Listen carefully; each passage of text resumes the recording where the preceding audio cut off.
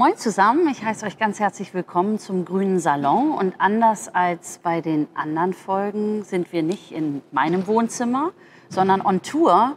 Und wie ihr unschwer erkennen könnt, ähm, ist hinter mir viel Sand und auch ein Netz. Das heißt, ich bin in einer Sporthalle, einer Beachvolleyball-Sporthalle und äh, freue mich riesig und bin auch ein bisschen aufgeregt äh, über meinen heutigen Gast.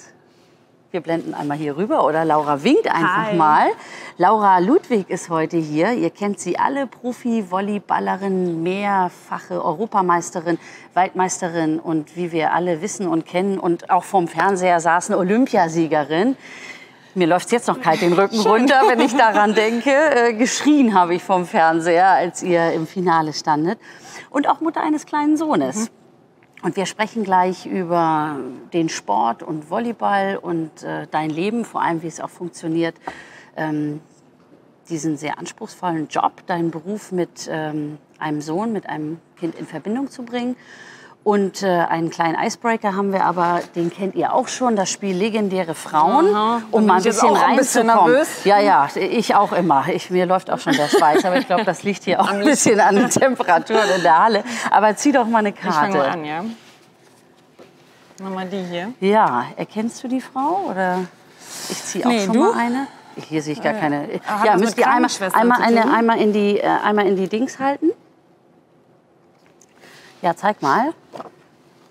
Ja, genau. Das ist Du vielleicht. kennst sie? Es hat mit Sicherheit irgendwas mit Medizin zu tun, Mhm. oder? Vielleicht erst erste Professorin für Medizin oder? Ah, Ja, kommt in die Nee, Richtung. komm, dann lies mal vor. Also, ähm, was gründete Alice Salomon 1925? Oh Gott. Ich weiß, dass es am UKE Okay. da auch einen äh, Hörsaal, glaube ich, gibt, Alice Salomon, und auch ein Preis verliehen wird. Aber ich weiß es gerade schon. Aber lies Ja. mal vor. Also die A-Antwort wäre die Deutsche Akademie für soziale und pädagogische Frauenarbeit. Ja. B, die Deutsche Akademie für Näh- und Stopfarbeiten. C, die Internationale Bildungsstätte für Krankenschwestern und Hebammen. D, die Internationale Bildungsstätte für unverheiratete Mädchen. Also ich schließe jetzt mal B und D aus, weil wir ja vorne hier auf dem auf der Karte auch sehr viel sehen, was mit Medizin zu tun hat. Was war A nochmal? A hatten wir die Deutsche Akademie für soziale und pädagogische Frauenarbeit. Ja, das ist es, glaube ich. Boah, das ist aber stark von dir, du. Ja? Ja. Also ich wäre auch, äh, wie du am Anfang, äh, fast auf Krankenschwester und Hebamme gegangen, wenn ich das Bild Ja, aber ich habe das immer, ich habe immer so, so gefährliches Halbwissen Ja. irgendwo im Hinterkopf und da schlummerte das bei Alice Stark von dir.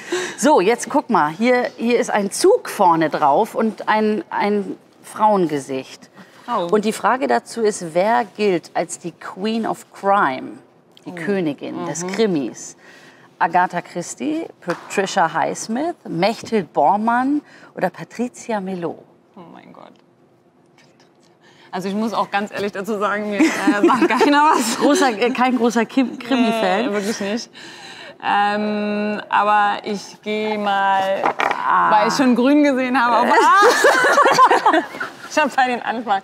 Bei den Antworten Du hast schon geguckt. Du hast schon geguckt. Darüber sprechen wir auch gleich. Wie doll muss man schummeln im Profisport? Damit ich gewinne, Um zu gewinnen. Ja, es ist richtig. Es ist Agatha Christie. Ja. Super. Okay, 1-1. Bravo, bravo, bravo. 1-1. Du willst auch immer gewinnen, oder? Muss man ja. Wird zu verlieren, ja. Aber das geht mir auch so. Ja, ist ja gut. Ist ja in unseren Berufen wahrscheinlich auch wichtig. Ich habe ja früher auch relativ viel Sport gemacht, geschwommen und Handball gespielt. Und Beides gleichzeitig. ja, also nicht zeitlich gleichzeitig, aber schon in, der, in meiner Jugend war das, ähm, war das parallel. Genau. Und das ist bis heute so, ähm, dass ich nicht verlieren mag. Ja, glaube ich. Also Ich mag nicht verlieren, das ist schon nervig. Und wenn ich irgendwo eine Tischtennisplatte sehe, dann nehme ich einen Schläger. Ja, wirklich. Nicht so rumgedaddel, sondern gleich mit. Punkten. Gleich mit Punkten. Und auch einmal mit Männern dann. Ja. Hast du denn außer äh, deinem Beruf und deiner Familie und deinem kleinen Sohn, hast du da noch andere Hobbys? Hast du Zeit dafür im Moment eigentlich? Ähm, schwierig, muss ich sagen. Ähm, ich bin jetzt auch nicht unbedingt ein großer Freund von äh, Lesen oder so, aber es ist jetzt so tatsächlich, wenn ich mal alleine unterwegs bin, dass Ja. ich die Ruhe zum Lesen mal ganz schön finde. Ne? Ja. Und mal auch mein Handy auszuschalten und so. Aber was eigentlich so meine Hobbys, das kann man auch nicht so nennen, aber einfach nur diese Zeit mit Familie und Freunde ähm, finden. Ja. Äh, das ist eigentlich so das, was ich am meisten mag und jetzt auch noch ähm, versuche, ähm, ja, immer wieder mit einzubauen, damit ich dann auch mal für mich ein bisschen die Zeit habe. Super. Klappt denn das gut bei dir, wenn ich so direkt fragen darf? Vereinbarkeit mit Beruf und Familie? Weil das ehrlicherweise eine Frage ist, die mir ständig gestellt wird und die Männern in der Regel nie gestellt wird. Und weil du ja auch eine öffentliche Person bist und damit, äh, wie ich finde, auch ganz souverän und charmant umgegangen bist äh, mit dieser Thematik, ist jetzt die Frage, ist das wirklich so, wie es aussieht, dass man das gut hinkriegt in, in deinem Beruf oder Also man musste stößt sich du auch manchmal an die Grenze? Auf jeden Fall. Also ähm, die Grenze ist auch ganz äh, tief manchmal gelegt und ähm, äh, ich springe da ganz schnell rüber. Es ist so, dass der Anfang schon echt schwer war. Also Ja. ich musste mich da auch reinfinden in beides. Also es war auch schwierig. Ähm, von äh, meinem Kleinen auch erstmal loszugehen, wie wahrscheinlich für jede Mama. Das kennst du wahrscheinlich Wie auch. lange warst du zu Hause? Also ich war so drei Monate zu Hause Ah und ja, dann ich habe ich auch versucht, genau, genau. versucht, das immer peu à peu ähm, jeden Tag ähm, zu steigern. Mhm, Immer mal eine Stunde weg äh, für den nächsten Monat ähm, oder auch mal ein bisschen länger und dann immer mehr und dann ab dem fünften Monat bin ich so wieder in den Trainingsplan, in einen ganz normalen Trainingsplan eingestiegen, wo ich dann wirklich ähm, ein bis zweimal äh, eine Trainingseinheit jeden, Ja. äh, jeden Tag hatte so. Und äh, am Anfang war natürlich viel mit Schuldgefühlen. Ähm, mache ich überhaupt das Gewissen, Richtige? Genau, ja. absolut. Kenn ich Wo ich auch, auch gut. ähm, viel mit meiner Psychologin reden musste, auch vorher, auch noch in der Schwangerschaft, ähm, wo dann auch ein bisschen mehr in die Planung reingegangen sind, ähm, dass ich nicht mehr so ein schlechtes Gewissen hatte. Also da hat mir meine Psychologin sehr viel geholfen, dass ich ein bisschen offener und entspannter mit dem Mhm. Thema umgehen kann. Also ich hatte schon echt Probleme am Anfang. Wer hat aufgepasst auf deinen Sohn? Also, Theo, ne? Genau. Theo, Theo, heißt ja. er. Und ähm, anfänglich war es ging es noch so, dass äh, wir te ähm, das teilen konnten, ich und mein Mann und meine Oma auch, äh, meine Oma, meine Mama, also die Die Oma, Oma. die Frau in Ist dem, bei uns äh, auch immer so. Es wird nur noch Oma und Opa genannt. Ja. Ähm, die, die mögen das aber auch tatsächlich. Ne? Die ähm, Ja, ja. Großeltern, die lieben das ja jetzt, Oma und Opa zu sein. Aber ich sag zu den Kindern jetzt oft, jetzt kommt bald Mama. Und dann sage ich, So, nee, das hä, bin ja Mama bin ich. Oma kommt gleich. Ja, genau. nee, ich bin da direkt mit Oma und Opa rein. Und ähm, dann später war es aber so, ähm, dass wir jetzt zwei Nannies haben. Die sind Ah. äh, Mamis, aber auch von Freundinnen. Ja. Ähm, die sind beide Rentnerinnen und haben sich der Aufgabe angenommen, auf Theo auch aufzupassen. Und die wechseln sich dann halt von den Tagen auch ab. sodass Die wohnen aber nicht bei euch, die kommen dann rein. Genau, Ne? die kommen dann und es ist manchmal so, dass sie den ganzen Tag sogar da sind, wenn wir zwei Einheiten haben.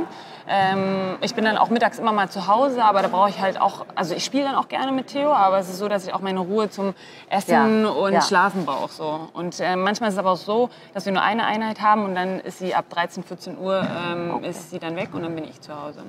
Wie schwer war es, wieder hier auf den Platz zu kommen, sich zu motivieren, auch daran anzuknüpfen? Ich meine, du bist sozusagen auf dem Olymp, ja, du bist auf dem Olymp in Mutterschutz gegangen und dann in eine kurze, kurze Phase Elternzeit. Also die Motivation war eigentlich äh, da, also auch ganz groß und ich hatte auch Bock wieder in den Sand zu gehen, mich Ja. sportlich zu betätigen. Ja. Es war auch relativ schnell da.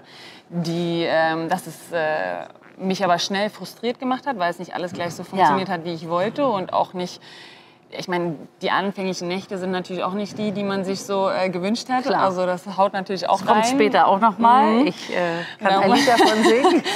Da äh, muss man sich auch erstmal dran gewöhnen. Und ähm, also bei mir war es auch wieder mit, ich habe sowieso in meinen ganzen Lebenslagen immer mit Geduld zu tun. Ich muss mir Geduld immer wieder neu erarbeiten irgendwie.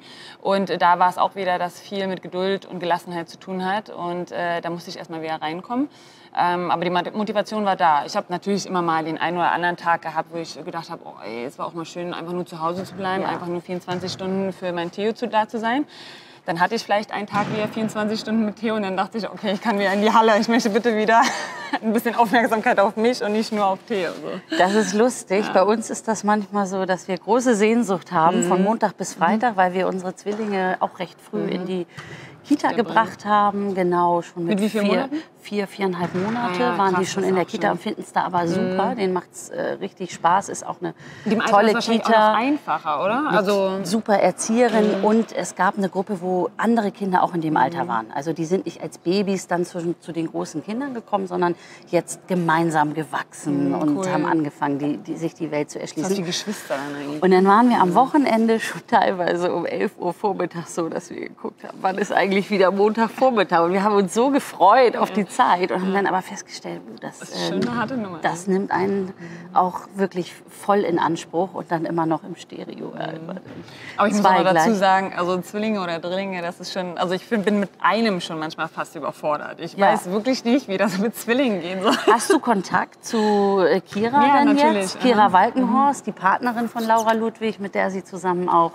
die großen Erfolge gefeiert hat, die ja Mama von Drillingen. Drillingen, genau. Jetzt auch seit äh, einem Jetzt Jahr ein ungefähr ist. Gut genau. an ein Jahr und ein paar ein Monate, Jahr wie meine, genau, genau, genau. Ja, Äh, und tauscht ihr euch da aus? Ja, also es ist schon, ähm, sie ist auch eine Type, ähm, die die Nächte braucht und auch Ja. gut schlafen muss, damit sie wirklich gut drauf ist.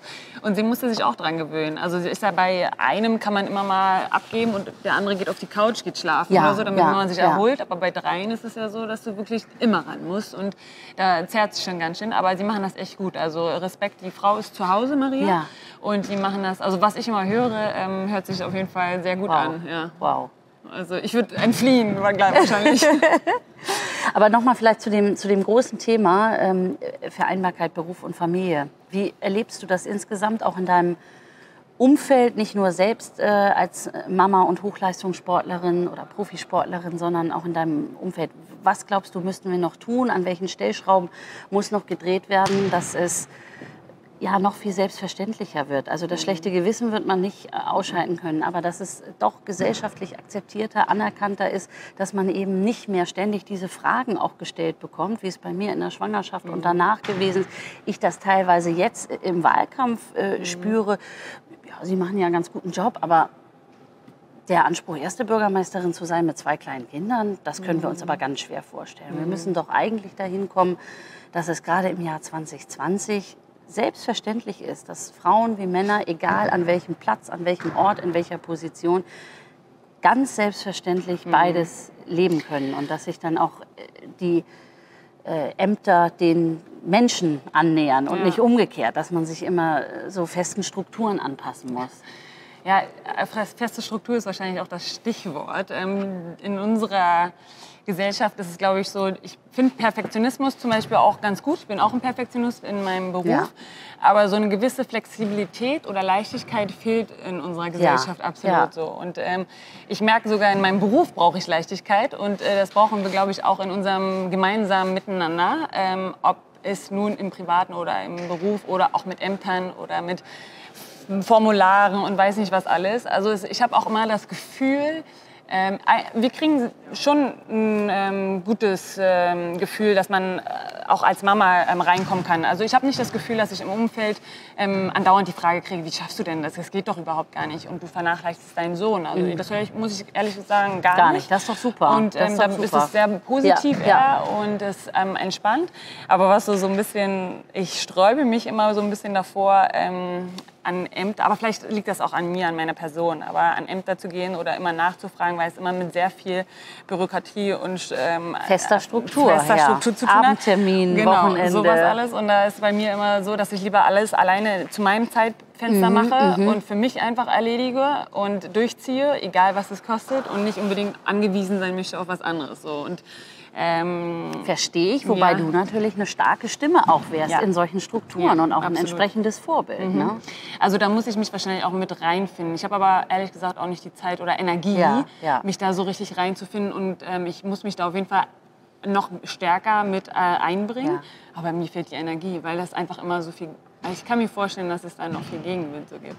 Ja, wobei deine Energie ja jetzt wieder voll Ja. auf den Sand Genau. äh, fokussiert wird. Du hast ein Ziel, ihr habt ein Ziel vor Augen, jetzt Tokio 2020, Olympische Spiele im Juli, August sind die? Ja, Anfang, August? Ende Juli fängt es an, genau. Wie, wie bereitet ihr euch darauf jetzt vor? Jetzt haben wir Februar schon, das ist ja gar nicht mehr so lang hin. Ne? Das klingt noch so weit, aber das ist ja schon in ein paar Monaten. Ja. Wie geht ihr daran? Und äh, entscheidend ist doch auch immer neben der körperlichen Konstitution, dass die Psyche auch voll dabei ist. Ne? Absolut. Also es ist ja noch so auch, dass wir nicht zu 100 Prozent qualifiziert sind. Wir müssen Ja. noch das ein oder andere Turnier auf jeden Fall sehr gut spielen. Also es werden wahrscheinlich noch sechs bis acht Turniere sein. Ja. Zwei, drei sehr gute Ergebnisse müssen wir noch machen. Also das heißt wirklich unter die Top 5, ähm, damit wir sicherer dabei sind. Und Ende Juni ist dann Cut, da zählt es dann. Ähm, da müssen wir unter den ersten 17 der Weltrangliste sein. Ähm, sonst ist äh, der Traum vorbei und äh, es war nur eine schöne Reise dann. Aber ähm, wir haben jetzt auf jeden Fall die Monate der Vorbereitung, wo wir auch viel ins Ausland gehen, viel Technik und Athletik trainiert haben. Jetzt im Februar, März kommen wir langsam mehr und mehr ins spielerische Training, äh, ins Competition-Training. Und ab Ende März spielen wir dann auch schon wieder das erste Turnier in Mexiko. Also es Okay. ähm, geht alles, also wir haben am Anfang, als wir die Planung gemacht haben, das war im Oktober, September hatten wir die Planung gemacht, Oktober hatten wir Urlaub und im November sind wir wieder eingestiegen. Und dann haben wir uns gedacht, boah, November bis März, das sind aber viele Monate und so, das ist ja ganz schön lange. Und jetzt ist schon wieder ähm, fast Absolut. vorbei und man hat, immer, man hat das Gefühl, man hat immer noch nicht alles geschafft, man, es ist noch nicht alles perfekt und so, wo man sich wieder in Geduld üben muss. Äh, aber im Großen und Ganzen ähm, sind wir echt ähm, auf dem richtigen Weg und äh, guter Dinge, dass wir da in Tokio hoffentlich starten werden. Also ich höre heraus, Optimismus ist Ja. ganz, ganz wichtig. Auf dem Weg dorthin eben nicht nur Siege, sondern auch Niederlagen. Mhm. Hast du irgendein Rezept, wie du mit Niederlagen umgehst? Gerade weil ihr ja eine ganz enge Taktung dann auch an Turnieren habt und da muss man sich wahrscheinlich Mhm. äh, auch schnell wieder berappeln. Ne? Ja, also ist ähm, immer schwierig, aber ähm, Niederlagen, aus denen, auch wenn es sich blöd anhört, aber auch jeder sagt es, aus denen kann man nur lernen und es ist tatsächlich so. Also wenn man wirklich reflektiert, ähm, sich die Zeit nimmt ähm, und mutig ist, darüber nachzudenken. Es ist ja nicht jeder Ja. mutig über seine Fehler oder Ja. sein, ähm, das, was man falsch gemacht hat, ähm, das zu analysieren, weil es halt auch wehtun kann. Ähm, das geht halt auch aus der Komfortzone raus. Und äh, das ist aber wichtig, das wirklich zu reflektieren, ähm, das einen schnellen Cut zu machen und dann wieder sein Ziel vor Augen zu haben und da wieder neu mit Geduld, äh, mein wichtigstes Wort in meinem ganzen Ja. Leben, wahrscheinlich auch für viele andere, Ja, mit ich Geduld ranzugehen. ein großes Problem. Also eher Immer ungeduldig zu sein. genau. Genau, genau.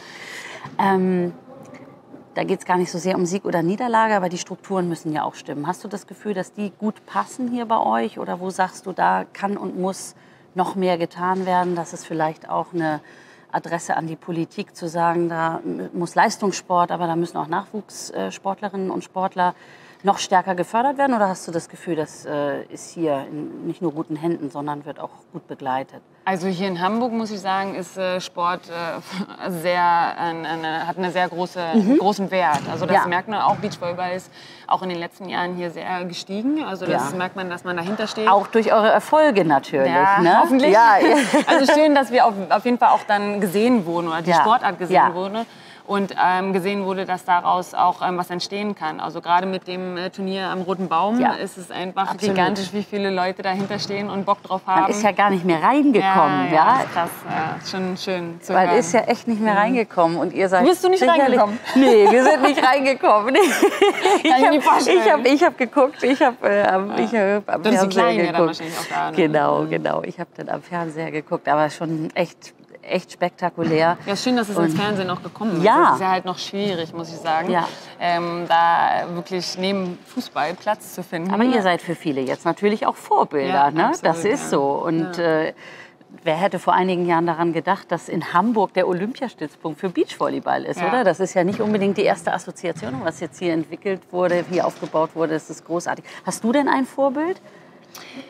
Ah, ist immer, Im Sport oder außerhalb ich, des ähm, Sports? habe immer wieder drüber nachgedacht, aber ich hatte tatsächlich nie so richtig ein Vorbild. Ähm, eigentlich waren es wahrscheinlich meine Eltern, also auf die bin ich ähm, krass stolz und äh, sie haben Cool, eher, das antworte ich auch immer. Habe Ja. ich gerade wieder bei zwei Fragebögen eingetragen. Ich Genau, habe genau. immer überlegt, ob das falsch war oder Ja, was mit mir ja, falsch war, dass ja. ich kein Vorbild hatte. Ja. Und im Sport, ähm, klar habe ich mir immer Sportler immer mal angeguckt, aber ich war irgendwie nie so, dass ich besessen war von dem einen, einen einzigen Sportler.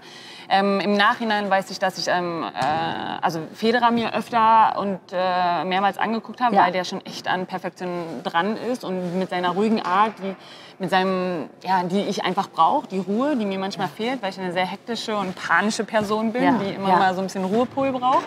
Und äh, ja, und da, der Federer gefällt mir einfach äh, so mit seiner Schweizer Art. Und, ähm, aber im Großen und Ganzen, glaube ich, waren es immer meine Eltern, die ähm, immer für uns da waren, immer das gemacht haben, was sie liebten, ähm, haben ihre eigene kleine eine Firma ähm, aufgebaut, schon seit Jahren und ähm, sind trotzdem für uns immer da. Also haben auch mit Job und ähm, Familie alles unter einen Hut gebracht. Und ich glaube, das sind einfach meine Vorbilder fürs Leben.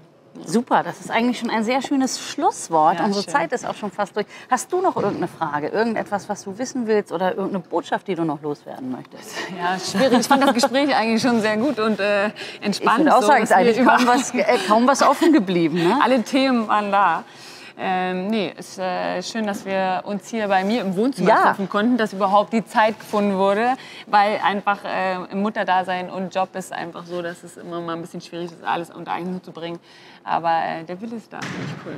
Wir waren gerne hier zu Gast. Ich fand es toll. Ich habe so ein bisschen was von dem Schweiß Sport. Schweiß, äh, Blutschweiß, Tränen, äh, Spirit hier gespürt und äh, fand es großartig, dass du dir die Zeit genommen hast, jetzt in der Vorbereitung auf die wichtige Qualifikation, die ansteht. Und ich wünsche dir, deiner Partnerin, alles, alles Gute Dankeschön. und hoffe, dass wir euch dann anfeuern dürfen bei ich auch. Olympia in Tokio. Danke, dass ihr reingeschaltet habt. Ich hoffe, es hat euch ein bisschen Spaß gemacht. Ihr könnt natürlich ähm, YouTube abonnieren, den Kanal abonnieren und ich würde mich natürlich auch freuen über Kommentare und Likes und äh, auch Empfehlungen, ja, für diejenigen, die vielleicht Lust haben, vor allem Laura Ludwig jetzt zu hören und äh, wie sie ja, sich zum einen vorbereitet auf die Olympischen Spiele und zweitens, wie sie umgeht mit Mutterrolle auf der einen und Profisportlerin auf der anderen Seite. Also vielen Dank und dann bis zum nächsten Mal. Macht's gut. Ciao.